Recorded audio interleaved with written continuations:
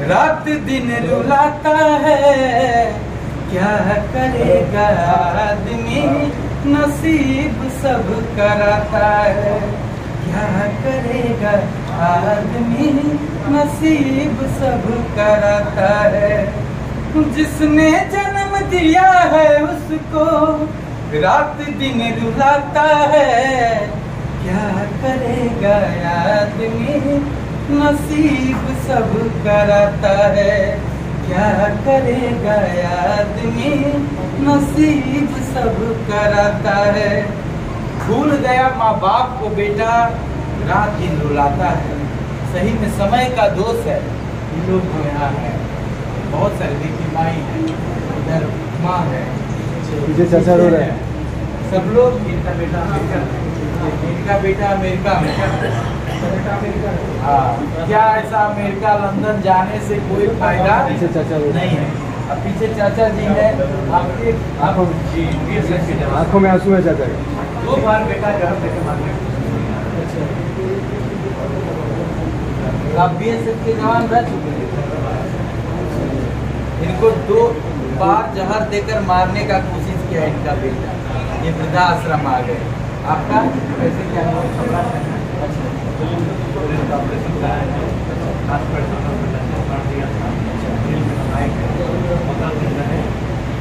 बाद से ऑपरेशन हुआ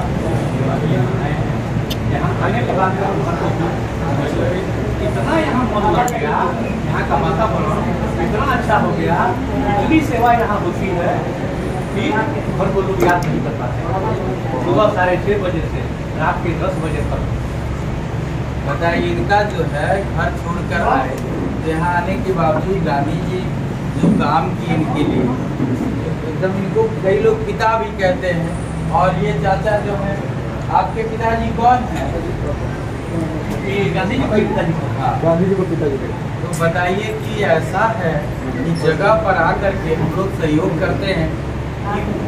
वृद्धाश्रम खुलना ही दुर्भाग्य की बात है ये सोच लीजिए तो बहुत नहीं सर, बड़ा है। लेकिन है ज़रूरी वृद्धाश्रम ज़रूरी है। ये ज़रूरी नहीं है तो आप आते कैसे पृथ्वी सोचो यार। इसलिए मेरे भाई दोनों हाथ जोड़कर विनती है कि जो लोग माँ बाप का सेवा नहीं करते माँ बाप के साथ मारपीट करते हैं माँ बाप के साथ दुर्व्यवहार करते हैं ऐसा काम ना करें माँ बाप ईश्वर के रूप है आपके माध्यम से पूरे जनता से सवाल रहेगा जो भी लोग वीडियो देख रहे हैं जो आपका जो इंटरव्यू जो प्रेस कॉन्फ्रेंस चल रहा है देख रहे हैं उनसे एक सवाल रहेगा कि जिस देश में पत्थर को लोग पूछते हैं उस देश में माता पिता जो उनको जन्म दिया उनको बनाया उनको इतने बड़े ये इस काबिल बनाया कि आज दो पैसा कमा सकते हैं बड़े बड़ी हस्तियाँ बन जाते हैं उनके लिए एक पिता और एक माँ बोझ क्यों हो जाता है कैसे हो जाता है वही तो सबसे बड़ा आपका सवाल है सवाल है। और ये सबसे मतलब क्या हम पे दुर्भाग्य है ये कि जो माँ बाप बच्चे को पाल पोस एक माँ बाप चार बच्चों को पाल पोस कर बड़ा करते हैं पालन पोषण करते हैं। और वो चार बच्चे एक माँ बाप को नहीं पाल पाते पाल पोषण अब बुढ़ारी है।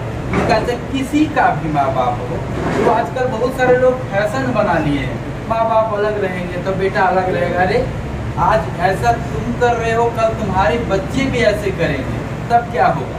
इस गाने में हम दिखाए हैं कि बच्चा पूछता है कि दादा दादी कहाँ हैं?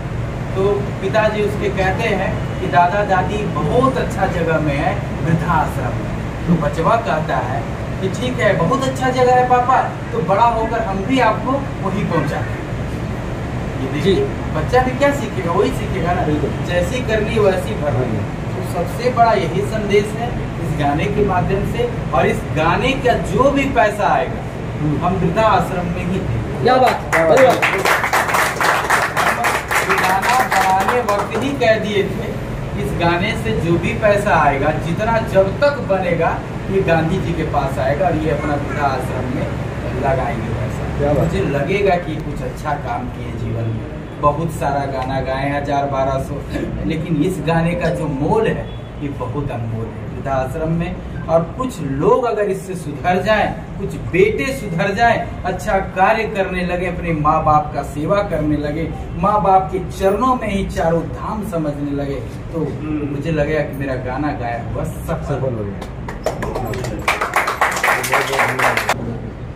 भैया एक सवाल रहेगा। भोजपुरी और मगी इंडस्ट्री में बहुत सारे ऐसे कलाकार हैं जो कि मस्जिद जाते हैं भगवान के मंदिर जाते हैं, बहुत सारी हर एक जगह जाते हैं। लेकिन आपको वृद्धाश्रम से इतना लगाव क्यों है? हमेशा वृद्धाश्रम में जाते हैं और लोगों का मदद करते हैं और हमेशा वृद्धाश्रम पे बहुत सारे गाने भी गाए हैं और आज भी गाना आए तो मतलब क्या करना चाहिए? आखिर वृद्धाश्रम से इतना लगाव क्यों आपको हैं और वृद्धाश्रम आने के बाद मुझे बहुत दुख हुआ, ये सब देख कर इन माताओं को इन पिता पुरुष को देख करके ऐसा लगा मुझे कि उन पे एक गाना बनाना चाहिए, इससे कुछ संदेश जाए।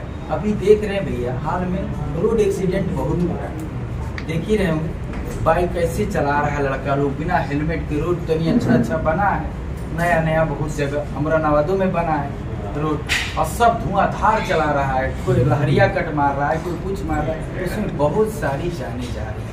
तो उस पर मैं एक संदेश दिया अपने फेसबुक के माध्यम से।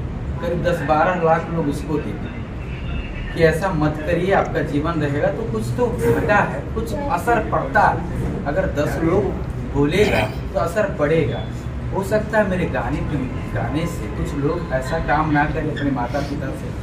प्रेम करने लगे ऐसे करते भी हैं कुछ लोग ऐसे हैं जो ऐसा करते भी जो कि देखते ही हैं घर में बहुत सारे लोग अगर पिताजी के वैल्यू नहीं देता है माता के वैल्यू नहीं देता है जरा सा बड़ा क्या हो गया पैसा क्या आ गया माता पिता को भूल जाता है। इन लोगों के लिए क्या संदेश।